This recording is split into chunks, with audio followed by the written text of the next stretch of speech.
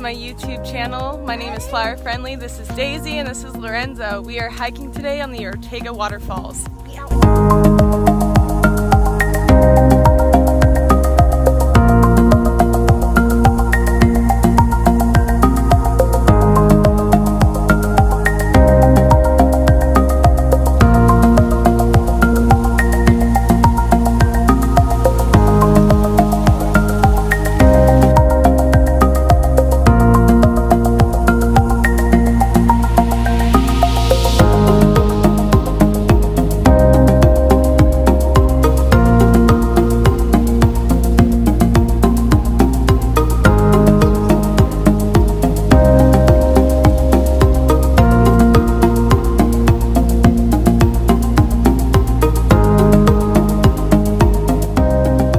Guys, so we got done with doing Daisy's maintenance. It looks really good.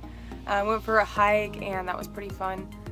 Um, I've had a pretty busy week with the lockdown and everything happen and um, all the riots and protests. It's been a very, very crazy couple weeks. Dreading is the only way that I make money, so um, in a time where you're not supposed to be close to people, I have to be close to people for short periods of time. They're like pretty long periods of time. So some interesting things happen with, um, I guess, my social security and everything.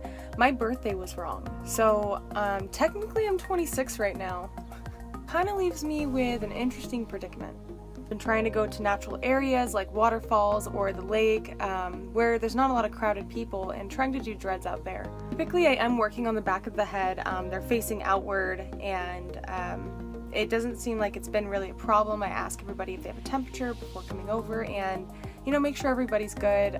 Make sure that they've been practicing social distancing. No idea how the next couple weeks are gonna go. Right now, I am just kind of in wait mode to figure it out. Uh, while I'm doing that, I am making a bunch of dreads and putting them up online. I finally have my website up, so I'm super stoked about that. It's flowerfriendlyproducts.com where you can set appointments and also order dreadlock extensions, which is pretty nice. And if there isn't something up there, the colors that you want, you can always order them through me.